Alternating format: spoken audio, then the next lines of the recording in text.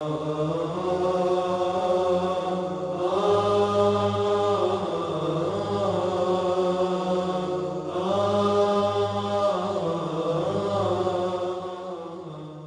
العلماء أن من شروط شهادة أن لا إله إلا الله المحبة فما دليلهم؟ كان الحسن البصري رحمه الله يقول ادعى قوم محبة الله تبارك وتعالى فابتلاهم الله سبحانه وتعالى بقوله قل إن كنتم تحبون الله فاتبعون. يحببكم الله ويغفر لكم ذنوبكم والله غفور رحيم.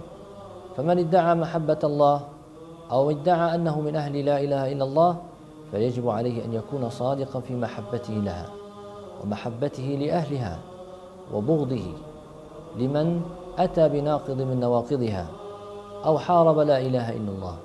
أو كان عدوا من أعداء هذه الكلمة العظيمة المباركة التي هي كلمة الإيمان والتوحيد.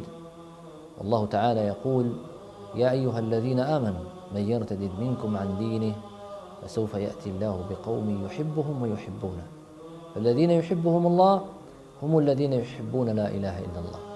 والذين يحبون الله هم الذين يحبون لا إله إلا الله. قال عليه الصلاة والسلام ثلاث من كن فيه وجد حلاوة الإيمان. أن يكون الله ورسوله أحب إليه مما سواهما. جعلني الله وإياك من أهل لا إله إلا الله. ورزقني الله وإياك محبتها وأن نكون ممن أحب هذه الكلمة وأحب أهلها وحشر معهم في جنات النعيم مع النبيين والصديقين والشهداء والصالحين وحسن أولئك رفيقا. والله تعالى أعلم. وصلى الله على نبينا محمد وسلم.